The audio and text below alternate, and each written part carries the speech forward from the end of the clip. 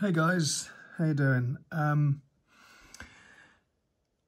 I'm back onto the Y-Wing and I'm going to be using um, some masking fluid in a minute to represent um, these chipping areas here. Now, the problem I've got is that um, the plastic used for the red Jammer originally, I believe, was black, as you can see here and here, and there's also other places that the black has shone through with um, damage to the model, like damage created on purpose with um, dental drills or uh, a blade or some sort of uh, sanding technique or something, but the plastic underneath can definitely be seen as black.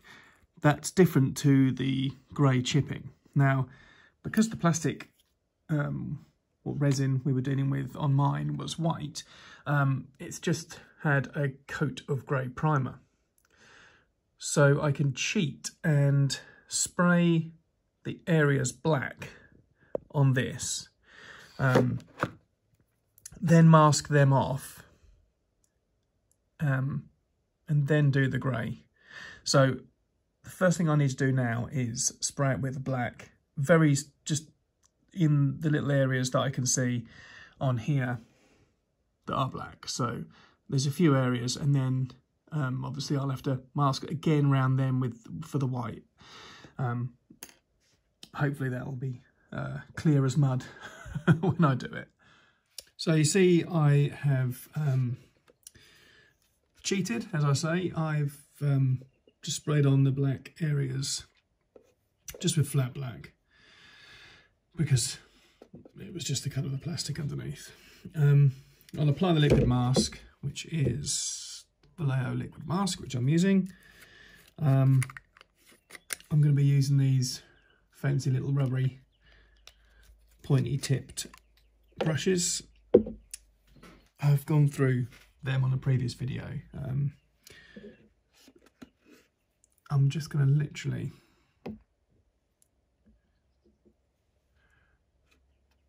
try and dab on where I can see the scratches and try and keep them as fine as, as, I, as I can because they were applied like, as a scratch with like a, a sharp tool or something. See, that's way too thick.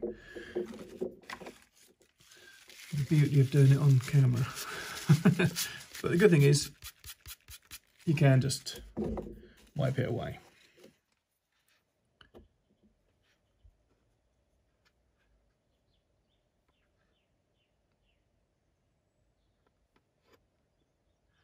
Just trying to copy the um, the ref from the Chronicles book, the newer of the two Chronicles.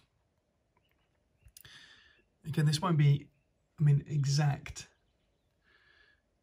to the original model. It will just capture the feel. I'm not too fussed about getting every single marking exactly right.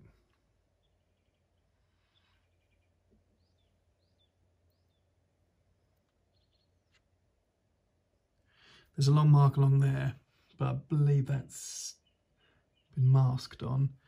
There's a scratch down here.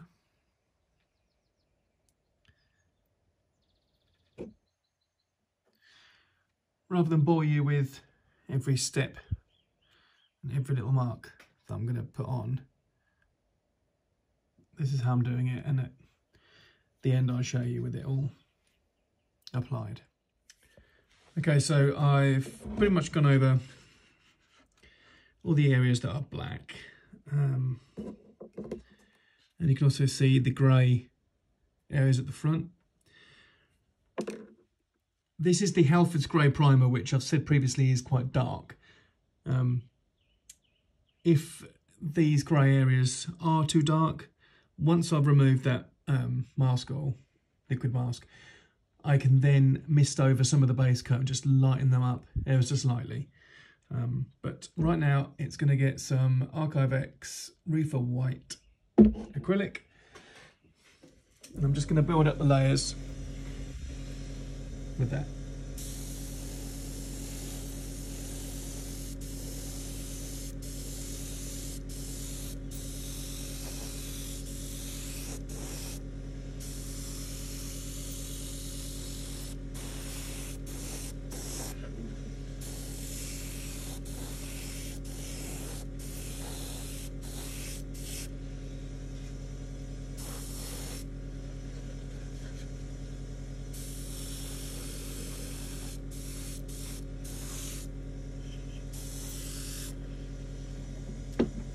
Okay, so rather than you sit here for five minutes watching me paint white, I'll come back to you after that's base coated. Okay, so that's been base coated in Reefer White. Um, didn't take long. The first coat always goes on a bit spotty, um, but then two or three coats later and it's absolutely fine. Sorry about the lighting here, it's really bad. But you can see that that's gone on nice and smooth. Um, the next stage will be removing all the Maskol uh, liquid mask and laying down the red. So now this is dry, we can um, start rubbing off this liquid mask.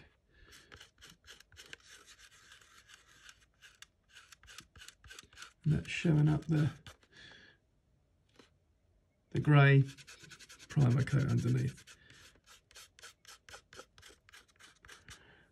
I'll go around the whole model and remove that. Okay, I removed um, most of the um, liquid mask and you can just see a difference between the grey and the black. I'll um I'll try and um I mean well that would change anyway, but there'll be grime mists and um base coat possibly mists and that that'll just change that colour. But um it just I mean this this reefer white is it's quite crazy. I mean that that looks and like a cream color, and then you just turn it into the light, and it, it changes to a you know a white. In person, looking at this is white white, but the way this camera's picking up, it just looks you know it has like a, a creamy dark tone to it. It's, it's, a very difficult color to match. It's uh, reefer white. If I turn this light off, possibly. Um, That'll show again how the colour changes. But yeah, um, next up will be the red stripe. I'm not quite sure what I'm going to go with with that, uh, whether it's SP Daylight Red or um, Guy gave me a early test of an enamel which was um, for the snow speeder, I think. Um, I don't know if that was a later colour being Empire Strikes Back or not. I don't know if that was used, but it has got an orange um, tone to it. I think it's I think it's SP Scarlet. I don't know. I'll have a look. Um, but yeah, we're we're getting there. Okay, so I went with um, SP Daylight Red. It does seem to have like a um, orangey tone to it. Um, that's acrylic. It's uh, just that guy sent me these test bowls uh, previously. Um, this is all thin with um, Archive X's own thinner. Um, I'll get this on here. This is always a daunting part of the any Y-wing build. I hate masking out this uh, stripe. But uh, we'll see how we go. Um, yeah, so I'll just lay on that red now. I might have to stop filming actually.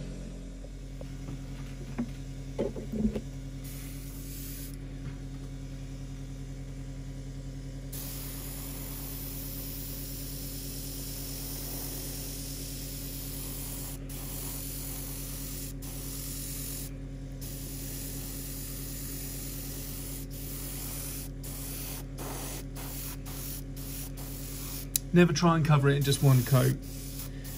Um, these acrylics work far better built up in layers. And then just shot with a hairdryer. And then you can add another layer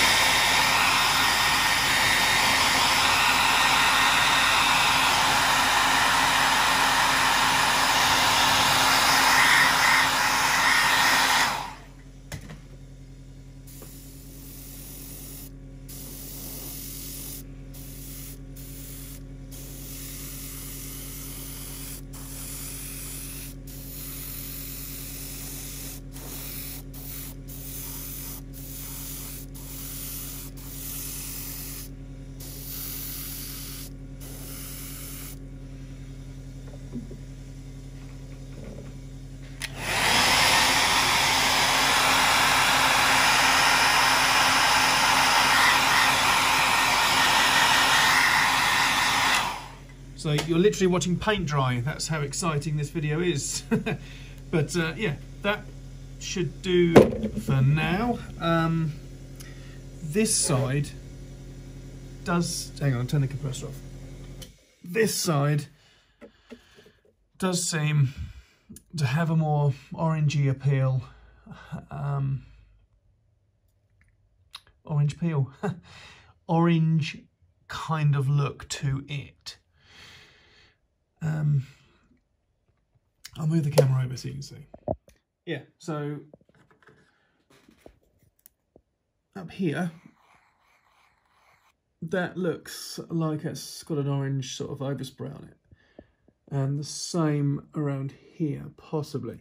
Or that could just be uh, light sanding, um, or it could be just mist.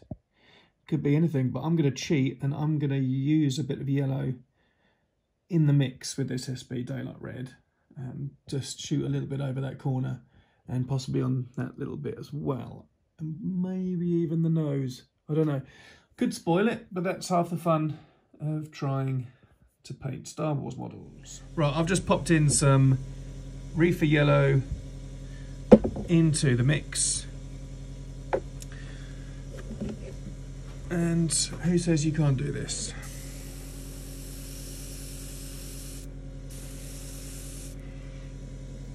Tiny little bit there. Tiny little bit down here. And like a flash across the nose there.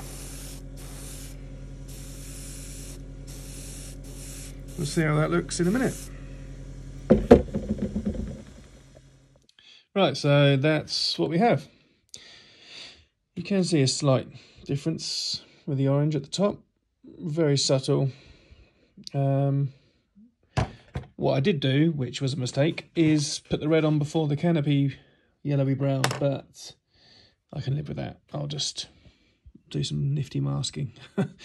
but yeah, happy with that. That's um, SB Daylight Red with a smidge of Reefer Yellow. This acrylic is is so good. It just um, it lays down so smooth. Um, I mean, it's still kind of wet, and I'm still rubbing Maskol off it. It's just it's superb. It's um it adheres beautifully. I mean I painted a whole studio scale slave one in these paints um, when guys sent them out to me um, test uh, for a batch that needed testing and you know if you can do a studio scale slave one with them that which is just full of chipping and and you go for a half a pot of Maskol with that thing um, and the, it just it laid down beautifully. Absolutely brilliant stuff. Um, okay, so on to the canopy next. And I think um, I'm going to use 1975 mud for that. Um, this is the enamel, but I haven't got the acrylic near me. I've got it there, I'll use it. Um, it might have been Depot Buff, to be honest. I don't know. I'll have a little um, spray on some test um, pieces and see what I think looks right. I did go with um, the enamel 1975 mud in the end because I couldn't find the acrylic but that's fine because you can shoot guys enamels perfectly well over the acrylics with no ill effects um, not the other way around though you can't put the acrylics over the um, enamels because the acrylics dry faster than the enamel and it'll pull um, and you'll get the wrinkle like crinkly effect. I'm just going to dry this liquid mask with a hairdryer just to dry that last bit up.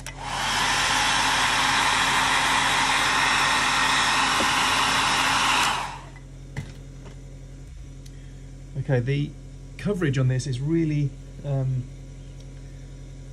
patchy. There's no real sort of definitive layer of, of, of this browny sort of yellowy on it, but I'll do it in a sort of a sporadic placement. Always test on the masking tape next to the bare bit of plastic so you, you know your, your spraying is okay.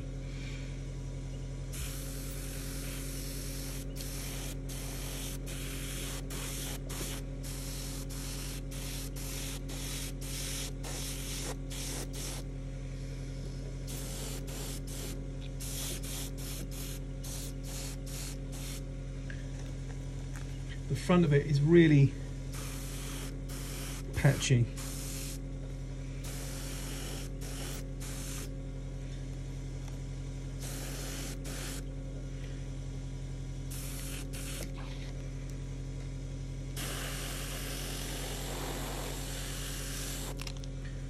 Okay, just give that a quick blast with the hairdryer.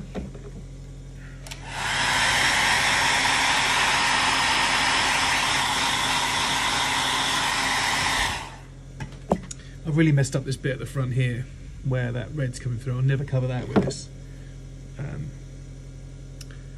mud. So I'm to have to sort of go in with a paintbrush by hand, I think, to cover that up and hide the crime.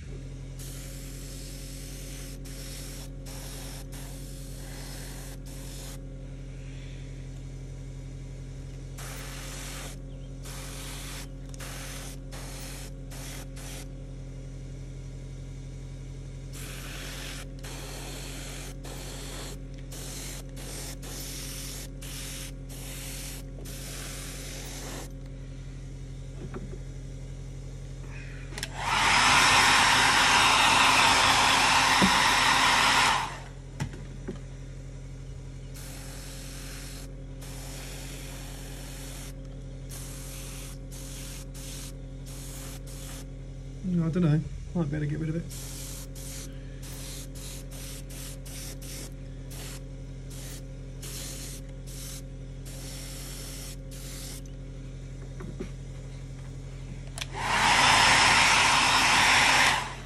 Okay, let's see what this looks like with the tape pulled off.